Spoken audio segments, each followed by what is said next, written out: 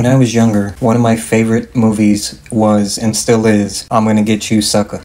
Yeah. Even though it's a parody of African American culture, it still is a great movie filled with iconic actors such as all the Wayans brothers and sisters, Bernie Casey, Chris Rock, Jim Brown, which we'll get to, Isaac Hayes, John Witherspoon, Dawnn Lewis, Janet DuBois, etc. But today's story is about Jim Brown. Jim Brown is a legendary ex football player, Hall of Fame, civil rights leader. He played a hardcore guy named Hammer in the movie, still in great shape at 53 in this picture. Which brings us to this movie, Any Given Sunday, another great movie with Pacino, Woods, LL Cool J, and Jamie Foxx. Jim Brown was also in this one. This movie had many issues, which we'll save for another day. Think of it as Clash of the Titans for African American actors, which brings us to today's story. We have Bill Bellamy, Jamie Foxx, LL Cool J, and the defense coach was Jim Brown. And I gotta tell you, I gotta set this up. Jim Brown got on a kufi.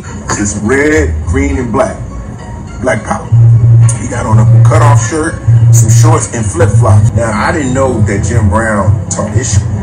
You know, nobody knew that Jim Brown taught Ish at the time. So, you know, he would walk around while people were, you know, in another conversation, and he would jump in real quick, say something crazy, and walk out. Think of Jim Brown as a fusion in between Uncle Ruckus and Rick James. You know, he would step across the line.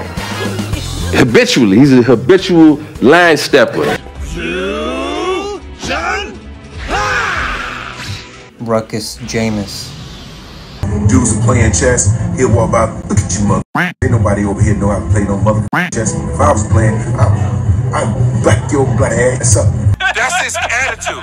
And you're not even talking to him. Right. So he'd be like, yo, who's my man? You always, when Jim Brown come around, you always say, who's my man? So Jim Brown was always on the set talking shit. We got a bunch of real football players and some hood dudes, real ones. They don't know Jim Brown. They too young. Right. They don't realize he's a legend, Hall of Fame, what he stands for, who he is. So they young and stuff. So they talking about football. One in, in Miami where we were shooting the movie, if you went to the U, that's one thing. That's one Some thing. cats went to Florida State. Right. Some cats went to the U. Right. And the U, it, to them, is better than anybody in the world. And Florida Right. State feel the same. So Right. they over there talking, man, y'all ain't.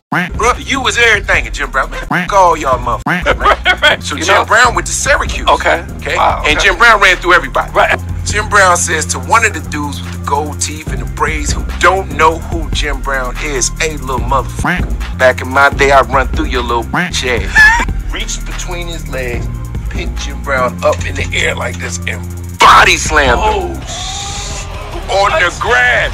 Boom! And Jim Brown had on some flip flops and a kufi. And his kufi was over there.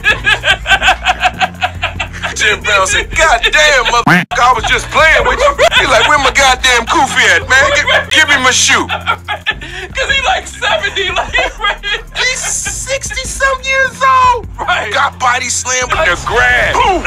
He was like, Mr. Brown, you cool? Like, God damn. Motherfuckers don't understand a joke. I was stunned. I was trying to put his kufi on. I was like, yo, Mr. Brown.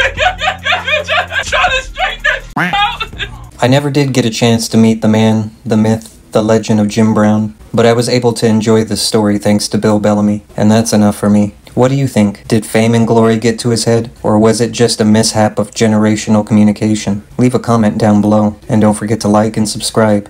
And remember, you're always welcome here. But we sure as hell aren't for everyone.